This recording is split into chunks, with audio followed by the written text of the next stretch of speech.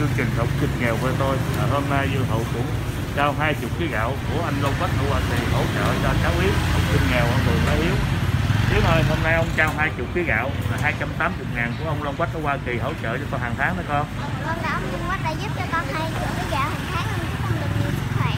năm nay cô lớp mấy rồi Ngày lớp 5. à, cô có học giỏi nha Dạ.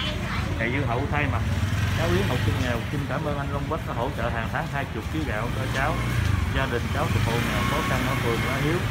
Dương Hậu cũng chúc anh được nhiều sức khỏe và hạnh phúc thật nhiều bên gia đình. Số điện thoại của Dương Hậu là 0909098469. cảm ơn quý vị đã dành vài phút xem chương trình này. Đây là học sinh nghèo của tôi sau này cháu Yến học thành tài, đi làm việc cũng lo được bản thân và lo gia đình. Cháu sẽ không quên công ơn của anh Long Quách hỗ trợ trong suốt thời gian dài đây là việc làm rất là cao cả là chân dưới, nhưng Hậu trân trọng anh, hy vọng rằng được cộng tác trong sau này, giúp cho chương trình học sinh nghèo của tôi.